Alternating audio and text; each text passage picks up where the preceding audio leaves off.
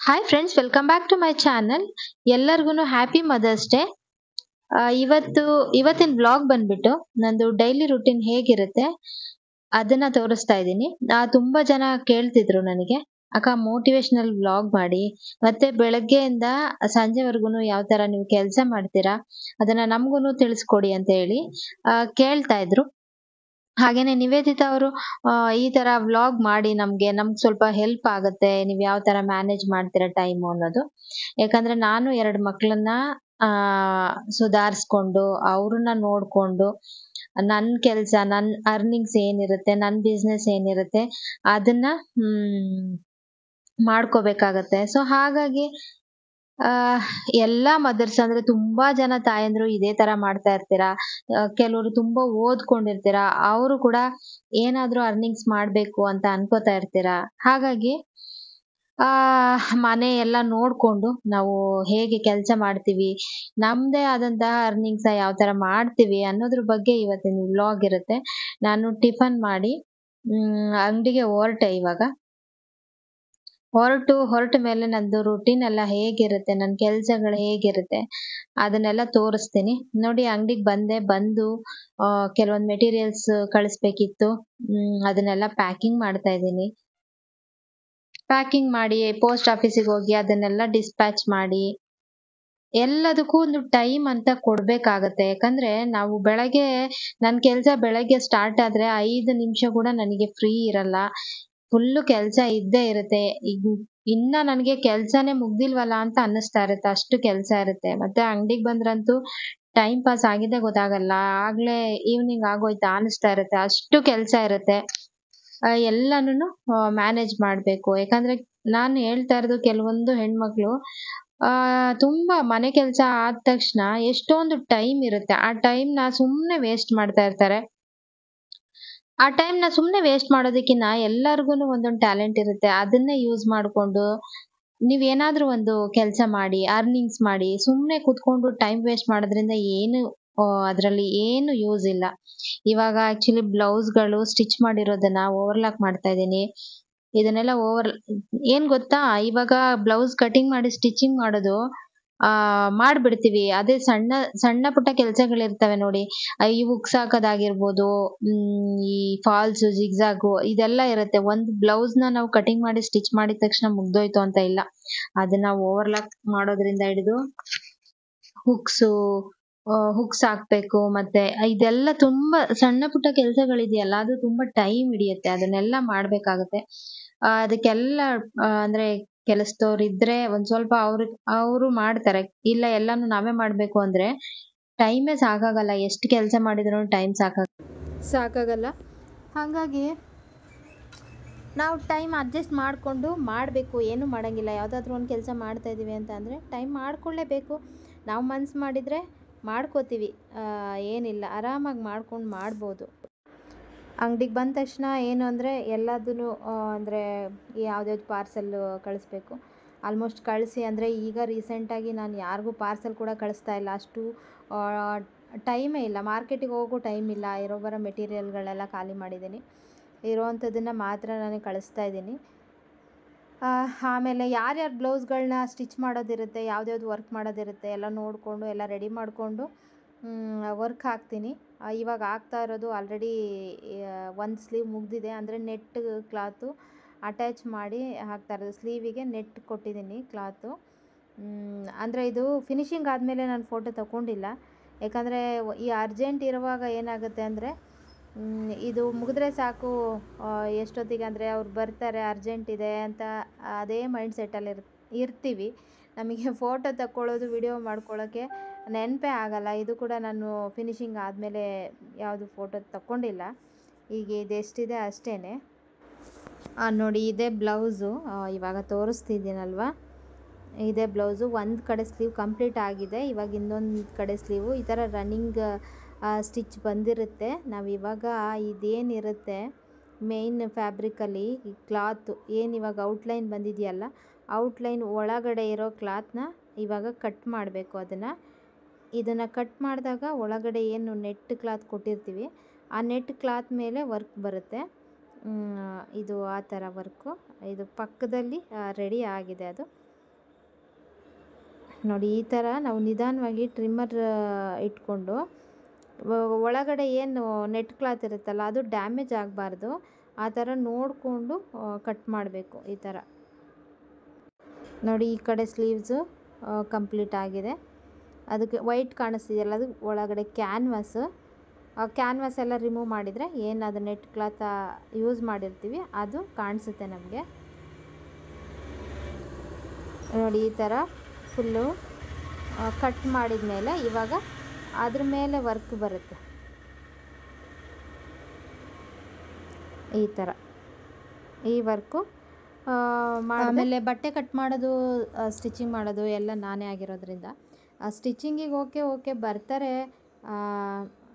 Manage ಮಾಡ್ತಾಯಿದ್ದೀನಿ but cutting ಎಲ್ಲ ನಾನೇ ಮಾಡಬೇಕಾಗಿರೋದ್ರಿಂದ ಟೈಮ್ ಸಾಕಾಗಲ್ಲ ನನಗೆ. ಎಲ್ಲ ಕೆಲಸನೂ ಮಾಡಬೇಕಾಗಿರೋದ್ರಿಂದ ಟೈಮೇ ಇರೋದಿಲ್ಲ. ಯಾವುದೇ ಒಂದು ಕೆಲಸ ಮಾಡೋಕ್ಕೂ ಹಾಗಾಗಿ ಎಲ್ಲ ಕಟಿಂಗ್ ಮಾಡೋದು ಸ್ಟಿಚಿಂಗ್ ಮಾಡೋದು ಎಲ್ಲದು ಆ, ನನ್ನದೇ ಆಗಿರುತ್ತೆ. ಹಾಗಾಗಿ ನೋಡಿ ಕಟ್ಟಿಂಗ್ ಮಾಡಬೇಕು. ಅವರು ಇವಾಗ ಏನು ಇದ್ದಾರಲ್ವ ಲೇಡೀಸು ಅವರು ಬಂದರೆ ಅವರಿಗೆ ಕಟ್ಟಿಂಗ್ ಮಾಡಿ ಕೊಡಬೇಕು. ಇದು ಆ್ಯಕ್ಚುಲಿ ನಾನು ಅವಳಿಗೆ ಕಟ್ಟಿಂಗ್ ಮಾಡಿ ಕೊಟ್ಟಿದ್ದೀನಿ ಮಾನಸಂಗೆ. ಅವಳು ಸ್ಟಿಚ್ ಮಾಡಿದ್ಲು ಇದು ಬ್ಲೌಸು ಓಕೆನಾ ಈ ಥರ ನೋಡಿಕೊಂಡು ಎಲ್ಲ ಕೆಲಸನೂ ನಾವೇ ಮಾಡಬೇಕು. ಅಂದರೆ ಮನಸ್ಸಿರ್ಬೇಕಷ್ಟೇ ಮನಸ್ಸಿದ್ರೆ ಎಲ್ಲ ಕೆಲಸನೂ ಮಾಡ್ಬೋದು. ನೀವು ಅಷ್ಟೇ. ಎಲ್ಲ ಹೆಣ್ಮಕ್ಳಿಗೆ ಹೇಳೋದು ನಾನಂತೂ ಮುಂಚೆಯಿಂದಲೂ ಹೇಳ್ತಾ ಇರೋದು ಒಂದೇ ಎಲ್ಲ ಹೆಣ್ಮಕ್ಳಿಗೂ ಸುಮ್ಮನೆ ಟೈಮ್ ವೇಸ್ಟ್ ಮಾಡಬೇಡಿ. ಏನಾದರೂ ಮಾಡ್ತಾಯಿರಿ ಕೆಲಸನ. ನೀವು ಆದಷ್ಟು ಏನು ಗೊತ್ತಾ, ಮೈಂಡು ಫ್ರೀ ಇರುತ್ತೆ. ರಿಲ್ಯಾಕ್ಸೇಷನ್ ಸಿಗುತ್ತೆ ನಿಮಗೆ. ಮತ್ತು ಖುಷಿ ಇರುತ್ತೆ. ನೀವೇ ಒಂದು ಏನೋ ಒಂದು ಕೆಲಸ ಮಾಡಿ, ನೀವೇ ಅರ್ನಿಂಗ್ಸ್ ಮಾಡಿದಾಗ ಹೌದಪ್ಪ, ನಾವು ಯಾರ ಹತ್ರನೂ ದುಡ್ಡು ಕೇಳ್ದಂಗೆ ನಾವೇ ನಮಗೆ ಏನು ಬೇಕೋ ಅದನ್ನು ನಾವು ತಗೋಬೋದು, ನಾವೇ ಅರ್ನಿಂಗ್ಸ್ ಮಾಡ್ಬೋದು ಅನ್ನೋದು. ಅಟ್ಲೀಸ್ಟ್ ಈಗ ಬೇರೆಯವ್ರ ಹತ್ರ ನೀವು ಒಂದು ನಿಮ್ಮ ಬಟ್ಟೆಗಳನ್ನ ಸ್ಟಿಚ್ ಮಾಡಿಸ್ತೀರಲ್ವ ಕೊಟ್ಬಿಟ್ಟು, ಅವರಿಗೆ ಕೊಟ್ಟಾಗ ಅವ್ರಿಗೆ ದುಡ್ಡು ಕೊಡ್ತೀರಲ್ಲ, ಅದೇ ನಿಮ್ಮ ಬಟ್ಟೆ ನೀವೇ ಸ್ಟಿಚ್ ಮಾಡಿಕೊಂಡಾಗ ಎಷ್ಟೋ ದುಡ್ಡು ಉಳಿಯುತ್ತಲ್ವ ಸೇವ್ ಆಗುತ್ತಲ್ವ?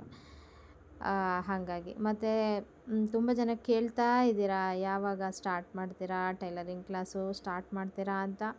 ಇದೊಂದು ವೀಕ್ ಬಿಟ್ಬಿಡಿ ನನ್ನ. ಯಾಕಂದರೆ ಒಂದು ಸ್ವಲ್ಪ ಇವತ್ತು, ಎಷ್ಟೋ ಒಂದು ಸ್ವಲ್ಪ ಇವತ್ತು ಎರಡು ಬ್ಲೌಸು ಎಮರ್ಜೆನ್ಸಿ ಇತ್ತು.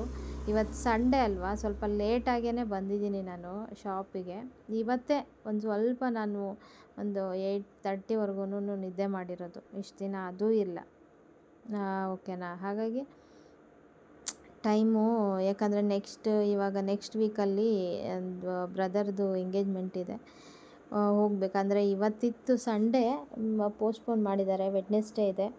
ಹಾಗಾಗಿ ಊರಿಗೆ ಹೋಗಿ ಬರಬೇಕು. ಎಲ್ಲ ಬಂದ ಮೇಲೆ ಸ್ವಲ್ಪ ಫ್ರೀ ಮಾಡಿಕೊಂಡು ಸ್ಟಾರ್ಟ್ ಮಾಡ್ತೀನಿ, ಓಕೆನಾ? ಆಗ್ತಿಲ್ಲ, ಅಂದರೆ ಯಾರಾದರೂ ಒಬ್ಬರು ಹುಡುಕ್ತಾ ಇದ್ದೀನಿ. ನಾನು ತುಂಬ ಜನ ಬುಟಿಕೋರು ಕಾಲ್ ಮಾಡ್ತಾರಲ್ವ? ಅವರಿಗೆಲ್ಲರಿಗೂ ಹೇಳ್ತಾ ಇರ್ತೀನಿ, ಯಾರಾದರೂ ಇದ್ದರೆ ಹೇಳಿ ಅಂತ. ಹೇಳಿದ್ದಾರೆ, ನೋಡೋಣ, ಹೇಳ್ತೀವಿ ಅಂತ. ಸರಿ, ಯಾರಾದರೂ ಸಿಕ್ಕಿದ್ರು ಅಂತ ಅಂದರೆ ನಾನು ಒಂದು ಸ್ವಲ್ಪ ಫ್ರೀ ಆಗ್ತೀನಿ ಆವಾಗ ಸ್ಟಾರ್ಟ್ ಮಾಡ್ಕೋತೀನಿ ಓಕೆನಾ ನಾನಿವಾಗ ಕಟ್ಟಿಂಗು ನಾನೇನು ಎಕ್ಸ್ಪ್ಲೈನ್ ಮಾಡಿಲ್ಲ. ನೆಕ್ಸ್ಟ್ ವಿಡಿಯೋದಲ್ಲಿ ನಾನು ಕಟ್ಟಿಂಗ್ದು ಎಕ್ಸ್ಪ್ಲೈನ್ ಮಾಡಿ ನಿಮಗೆಲ್ಲರಿಗೂ ವಿಡಿಯೋಸ್ ಹಾಕ್ತೀನಿ ಓಕೆನಾ ಈಗ ಜಸ್ಟ್ ನನ್ನದು ರುಟೀನ್ ಹೆಂಗಿರುತ್ತೆ ಅನ್ನೋದನ್ನು ನಾನು ನಿಮಗೆ ತೋರಿಸ್ತಾ ಇದ್ದೀನಿ ಅಷ್ಟೇ ಮತ್ತು ನಮ್ಮನೆಯವರು ಡ್ಯೂಟಿ ಮುಗಿಸ್ಕೊಂಡು ಬಂದರೆ ನಾನು ಎಷ್ಟೊತ್ತವರೆಗೂ ಇರ್ತೀನಿ ಅಷ್ಟೊತ್ತವರೆಗೂ ವೆಯ್ಟ್ ಮಾಡ್ತಿರ್ತಾರೆ. ಯಾಕಂದರೆ ಒಬ್ಬಳೇ ಇರಲ್ಲ ನನ್ನ ಶಾಪಲ್ಲಿ ಅವರು ಇರ್ತಾರೆ ಜೊತೆಯಲ್ಲಿ ಹಾಗಾಗಿ ಮತ್ತು ಅವ್ರ ಅಕ್ಕನ ಮಗಳು ಇಲ್ಲೇ ಇದ್ದಾಳಲ್ವ? ಅವಳು ಕೂಡ ನನ್ನ ಜೊತೆನೇ ಇದ್ಲು. ಈಗ ಇಬ್ಬರು ಸೇರಿಕೊಂಡು ಮಿಷಿನಿಗೆ ದಾರ ಹಾಕೋದು ಪ್ರಾಕ್ಟೀಸ್ ಮಾಡ್ತಾ ಇದ್ದಾರೆ. ನಾನು ಸ್ಟಿಚ್ ಮಾಡ್ತೀನಿ, ನೋಡು, ನಾನು ಕಲ್ತ್ಕೋತೀನಿ ಅಂತ ಹೇಳಿ. ಹಾಗಾಗಿ ಹೆಲ್ಪ್ ಮಾಡ್ತೀನಿ ಅಂತ ಬಂದಿದ್ದಾರೆ. ಹೆಲ್ಪ್ ಮಾಡ್ತೀನಿ ಅಂತ ಬಂದವ್ರಿಗೆ ಸರಿಯಾಗಿ ದಾರ ಕೂಡ ಹಾಕಕ್ಕೆ ಬರ್ತಾ ಇಲ್ಲ. ನೋಡೋಣ ಅಟ್ಲೀಸ್ಟ್ ಅಷ್ಟಾದರೂ ಮನಸ್ಸಲ್ಲಿ ಇದೆಯಲ್ಲ ಹೆಲ್ಪ್ ಮಾಡಬೇಕು ಅನ್ನೋದು. ಆ್ಯಕ್ಚುಲಿ ಅವಳಿಗೆ ನಾನು ತೋರಿಸ್ಕೊಟ್ಟಿದ್ದೀನಿ ದಾರ ಎಲ್ಲ ಹಾಕೋದು ಯಾವ ಥರ ಅಂತ ಹೇಳಿ. ಏನಂದರೆ ಹೆಣ್ಮಕ್ಳು ಎಲ್ಲ ಕೆಲಸನೂ ಕಲ್ತಿರಬೇಕು, ಇದು, ಅದು ಅಂತ ಇಲ್ಲ, ಎಲ್ಲನೂ ಕಲ್ತಿರಬೇಕು. ಇವಾಗ ಆ್ಯಕ್ಚುಲಿ ನನ್ನ ನನ್ನ ಮಗಳು ಮತ್ತು ಇವಳಿಗೆ ಇಬ್ಬರಿಗೂ ಭರತನಾಟ್ಯ ಡ್ಯಾನ್ಸ್ ಕ್ಲಾಸಿಗೆ ಹಾಕ್ತಾ ಇದ್ದೀನಿ. ಯಾಕಂದರೆ ನಮ್ಮ ಮನೆ ಹತ್ರನೇ ಒಬ್ಬರು ಹೇಳ್ಕೊಡೋರು ಸಿಕ್ಕಿದ್ರು. ಹಾಗಾಗಿ ಇಬ್ಬರೂ ಡ್ಯಾನ್ಸ್ ಕ್ಲಾಸಿಗೆ ಹಾಕ್ತಾಯಿದ್ದೀನಿ ಏನು ನನ್ನ ಹೆಣ್ಮಕ್ಳು ಏನಾದರೂ ಒಂದು ಕಲ್ತಿರಬೇಕು. ಸುಮ್ಮನೆ ಅಂತೂ ಕುತ್ಕೋಬಾರ್ದು ಮನೆಯಲ್ಲಿ ಸುಂದರಿಗಳ ಥರ ಏನೋ ಮಾಡ್ಕೊಂಡು ಮೊಬೈಲ್ ನೋಡಿಕೊಂಡು ಟಿ ವಿ ನೋಡಿಕೊಂಡು, ಏನೋ ಮಾಡ್ಕೊಂಡು ಟೈಮ್ ಪಾಸ್ ಅಂತೂ ಮಾಡಬಾರ್ದು. ಏನಾದರೂ ನಮಗೆ ಸಿಗೋ ಟೈಮಲ್ಲಿ ಏನಾದರೂ ಒಂದು ಕಲಿಬೇಕು ಅಂತ. ಆ್ಯಕ್ಚುಲಿ ಏನಂದರೆ ನೋಡಿ, ಇವಾಗ ತುಂಬ ಜನ ಹೆಣ್ಮಕ್ಳು ತುಂಬ ಓದಿರೋರು ಕೂಡ ಈ ಕೆಲಸಕ್ಕೆ ಇವಾಗ ಇಂಟ್ರೆಸ್ಟ್ ತೋರಿಸ್ತಾ ಇದ್ದಾರೆ. ನನಗೆ ಕಾಲ್ ಮಾಡ್ತಾರಲ್ವ ಇಂಟ್ರೆಸ್ಟ್ ತೋರಿಸ್ತಾ ಇದ್ದಾರೆ. ಅವರ ಹೆಣ್ಮಕ್ಳಿಗೂ ಅಷ್ಟೇ ಏನಾದರೂ ಒಂದು ಕಲಿಸ್ಬೇಕು ಅನ್ನೋ ಆಸಕ್ತಿಲಿದ್ದಾರೆ. ಮೊನ್ನೆ ಒಬ್ಬರು ನೋಡಿ ಅಶ್ವಿನಿ ಅಂತ, ಅವ್ರ ಮಗಳು ಇನ್ನು ನೈನ್ತ್ ಸ್ಟ್ಯಾಂಡರ್ಡು ಮನೆಯಲ್ಲಿ ಯಾಕೆ ಸುಮ್ಮನೆ ಟೈಮ್ ಪಾಸ್ ಮಾಡಬೇಕು? ರಜೆ ಇದೆಯಲ್ಲ, ಏನಾದರೂ ಒಂದು ಕಲ್ತ್ಕೊಳ್ಳಿ ಅಲ್ವಾ ಅಂತ ಅವ್ರನ್ನ ಕೂಡ ಕ್ಲಾಸಿಗೆ ಜಾಯಿನ್ ಮಾಡಿದ್ದಾರೆ. ಮತ್ತು ಇನ್ನು ಒಬ್ಬರು ಕೇಳ್ಕೊಂಡು ಬಂದಿದ್ದರು ಆ್ಯಕ್ಚುಲಿ ಇಲ್ಲ ಅವರು ಕೂಡ ಟೈಲರು, ಅವರು ಶಾಪ್ ಕೂಡ ಇಟ್ಟಿದ್ದಾರೆ ಬಟ್ ಅವರು ಮ ನಮ್ಮ ಹತ್ರ ಕಲಿಯಲ್ಲ.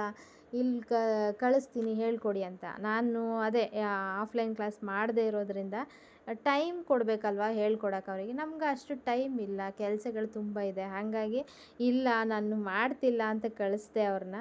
ನಾನು ಮಾಡುವಾಗ ಬೇಕಾದರೆ ಹೇಳ್ತೀನಿ ಅಂತ. ತುಂಬ ಜನ ಕೇಳ್ಕೊಂಬರ್ತಾರೆ ಆಫ್ಲೈನ್ ಕ್ಲಾಸಸ್ಸಿಗೆ ಬಟ್ ನಾನು ಮಾಡದೇ ಇರೋದ್ರಿಂದ ಟೈಮ್ ಇರಬೇಕು, ನಾವು ಕರೆಕ್ಟಾಗಿ ಹೇಳ್ಕೊಡ್ಬೇಕು. ಹಾಗಾಗಿ ಟೈಮ್ ಇಲ್ಲದೆ ಇರೋದ್ರಿಂದ ಮಾಡ್ತಾ ಇಲ್ಲ ಅಂತ ಹೇಳಿ ಕಳಿಸ್ದೆ.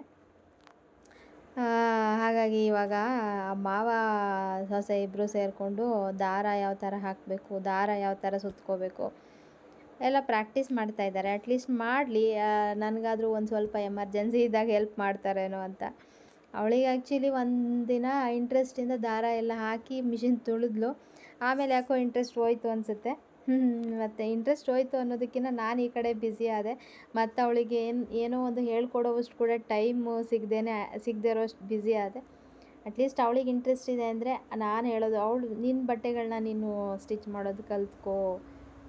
ಇಂಟ್ರೆಸ್ಟ್ ಬರುತ್ತೆ ಡ್ರೆಸ್ಸು ಗೌನು ಎಲ್ಲ ಸ್ಟಿಚ್ ಮಾಡ್ತಿದ್ದಾಗ ಅಂತ ಹೇಳೋದು. ಹಾಗಾಗಿ ಇಬ್ಬರು ಸೇರಿಕೊಂಡು ಏನೋ ಮಾಡ್ತಾ ಇದ್ದಾರೆ. ನಂದು ಬಟ್ಟೆ ಕಟ್ಟಿಂಗ್ ಇತ್ತು. ನಾನು ಕಟ್ ಮಾಡ್ತಾ ಇದ್ದೀನಿ. ಕಟ್ ಮಾಡಿ ಆ್ಯಕ್ಚುಲಿ ಹತ್ತು ಗಂಟೆ ಆದ್ರೂ ನಾನು ಕಟ್ ಮಾಡಿ ನೈಟ್ ಸ್ಟಿಚ್ ಮಾಡ್ತಾಳಲ್ಲ ಅವಳು ಮಾನಸ, ಅವಳಿಗೆ ಕೊಡೋದು ಇಲ್ಲ ನಾನು ಕಟ್ ಮಾಡ್ಕೊಂಡು ಮನೆಗೆ ತಗೊಂಡು ಹೋಗೋದು ಅರ್ಜೆಂಟ್ ಇರೋ ಬಟ್ಟೆಗಳನ್ನ ಈ ಥರ ಕಟ್ ಮಾಡಿಕೊಂಡು. ಯಾಕಂದರೆ ಮನೆಗೆ ತಗೊಂಡೋಗಿ ಕಟ್ ಮಾಡ್ಬೋದು ಬಟ್ ಮಿಷಿನು ಕಂಪ್ಯೂಟರ್ ಮಿಷಿನ್ ಮನೆಯಲ್ಲಿ ಇಲ್ವಲ್ಲ, ಇಲ್ಲೇ ಇದೆಯಲ್ಲ ಶಾಪಲ್ಲಿ ಇದರಲ್ಲಿ ವರ್ಕ್ ಹಾಕಿರ್ತೀನಿ. ವರ್ಕ್ ಹಾಕೋವರೆಗೂ ಇರಲೇಬೇಕು. ಹಾಗಾಗಿ ನಾನು ವರ್ಕ್ ಆಗೋವರೆಗೂ ವೆಯ್ಟ್ ಮಾಡ್ತಾ ಇರ್ತೀನಿ. ಅಂತೂ ಇಂತೂ ಫೈನಲಿ ದಾರ ಹಾಕಿದ್ರು, ದಾರ ಹಾಕಿ ನೋಡೋಣ ಅಂತ ಒಂದು ಸ್ಲೀವ್ ಅಟ್ಯಾಚ್ ಮಾಡ್ತೀನಿ ಕೊಡು ಅಂತ ಹೇಳಿದರು. ಧೈರ್ಯವಾಗಿ ಬಂದು ಕೂತ್ಕೊಂಡ್ರು ಗೊತ್ತಾಗಿಲ್ಲ. ಸೊ ಒಂದು ಲೈನ್ ಹಾಕು ಅಂತ ಹೇಳ್ಕೊಡ್ತಾ ಇದ್ದೆ. ಬಟ್ ಬಂದಿಲ್ಲ ಅವರಿಗೆ. ಆಮೇಲೆ ನಾನೇ ತೋರಿಸ್ದೆ ಯಾವ ಥರ ಮಾಡಬೇಕು ಅಂತ ಇಬ್ಬರು ಕೂಡ ನೋಡ್ಕೋತಾ ಇದ್ರು.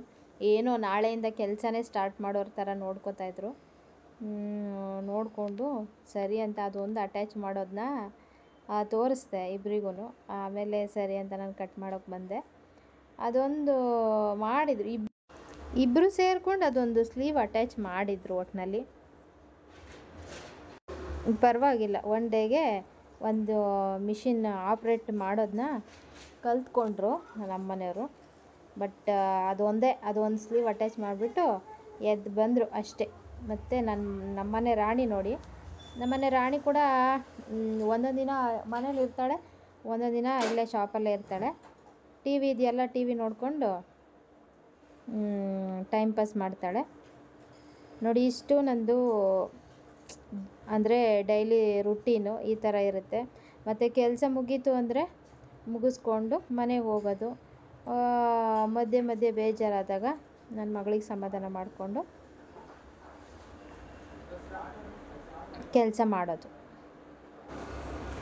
ಹಾಗೆಯೇ ತುಂಬ ದಿನದಿಂದ ಕೇಳ್ತಾಯಿದ್ರು ನಿಮ್ಮದು ಡೈಲಿ ರುಟೀನ್ ವ್ಲಾಗ್ ಮಾಡಿ ಅಂತ. ಹಾಗಾಗಿ ಇವತ್ತು ಒಂದು ವಿಡಿಯೋನ ಅಪ್ಲೋಡ್ ಮಾಡಿದ್ದೀನಿ. ತುಂಬ ಜನಕ್ಕೆ ಮೋಟಿವೇಶನ್ ಸಿಕ್ಕಿದೆ ಅಂತ ಅನ್ಕೋತೀನಿ. ಯಾರ್ಯಾರಿಗೆಲ್ಲ ಈ ವಿಡಿಯೋ ಇಷ್ಟ ಆಯಿತು, ವಿಡಿಯೋ ಇಷ್ಟ ಆದರೆ ವಿಡಿಯೋಗೊಂದು ಲೈಕ್ ಮಾಡೋದನ್ನ ಮರಿಬೇಡಿ. ಆದಷ್ಟು ನಿಮ್ಮ ಅಭಿಪ್ರಾಯನ ಕಮೆಂಟ್ ಮಾಡಿ ತಿಳಿಸಿ. ಹಾಗೆಯೇ ನನ್ನ ವೀಡಿಯೋಸ್ನ ಶೇರ್ ಮಾಡಿ, ಓಕೆನಾ? Thank you.